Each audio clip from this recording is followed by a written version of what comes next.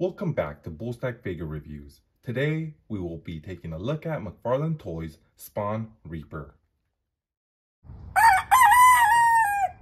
And here he is in packaging. I am feeling a bit underwhelmed by looking at Reaper through the window packaging, but I will reserve judgment until after I have opened him. He comes in the usual McFarlane blister box packaging. Here we see the McFarlane Toys logo and to the left, he has a 14 plus disclaimer with not a toy statement. This side of the box says Spawn, and the other side of the box shows you an image of Reaper. The back of the box has some splendid comic art and the usual 22 moving parts statement. So now with that, let's open Reaper. And here he is. He reminds me a lot of another McFarlane figure where the character is beautifully depicted in the comics, but poorly executed in a tangible form. And that figure is Overkill. This figure, like Overkill, is not aesthetically pleasing. McFarlane was not able to hit the mark when capturing the look of his own character, which is baffling to me. Starting with his head, the comic book version's helmet has a visor that integrates perfectly into the rest of the helmet, almost like a motorcycle helmet. Here, instead, we got some really sharp lines where the visor is. The flat amber yellow here was a horrible choice. The body has texturing where there shouldn't be any. His suit armor has an orange peel wall texture when it should be smooth.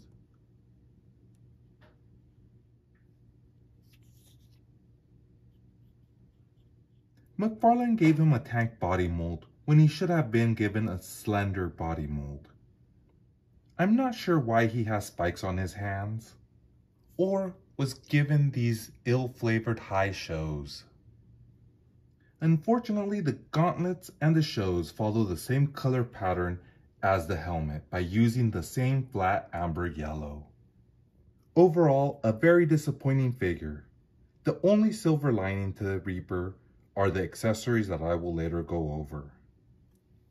For articulation, Reaper here has a ball joint in his neck that allows his head to go up and down and it can go all the way around and has some pretty decent tilt.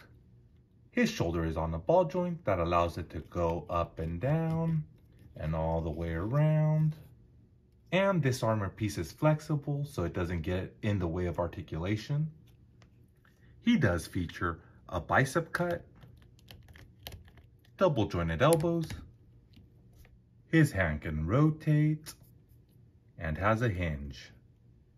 His diaphragm and waist have a ball joint. It allows his diaphragm to go forward and back, tilt side to side, and rotate. The waist does the same exact thing. Reaper's legs can kick up down, in and out. His hips can swivel, no thigh cut, double jointed knees. His foot can go up and down and rotate. He has toe hinge. Reaper here stands at a little bit over seven and a half inches he does well with other 7-inch figures. Here he is with McFarlane Mega Figure Overkill and McFarlane Witcher Eredin figure. I do not know enough about this character to say for certainty, but he probably does not fit with 6-inch figure lines. Here he is with Marvel Legends Scorpion Venom. For accessories, he comes with a pair of alternate hands,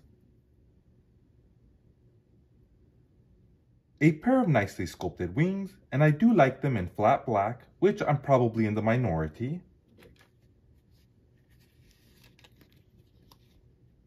A generic display stand. And lastly, a beautifully sculpted enormous scythe.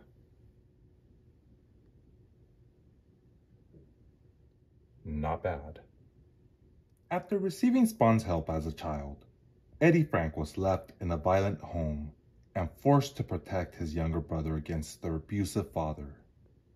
Years later, he was used as a weapon by the armies of heaven. He was turned into the mindless Redeemer and sent to assassinate Al Simmons. Spawn used his powers to set him free from the control of heaven. After an explosion, Eddie awoke from his mind-controlled stupor as the newly forged hero, Reaper. And now for my final thoughts. This figure is highly disappointing and not up to par with what McFarlane can produce. If you are a Spawn toy collector and a completionist, then I begrudgingly recommend this figure.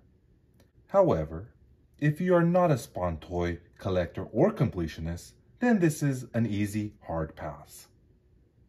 And now with that, if you enjoyed this figure review, please remember to comment, like, share, and subscribe.